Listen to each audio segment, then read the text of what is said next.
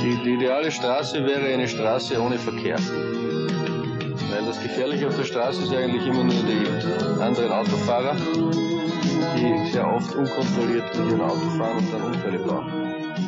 Die schönste Straße wäre eine schnurgerade Straße, wo überhaupt keiner fährt, wo man nur selber. Aspekt.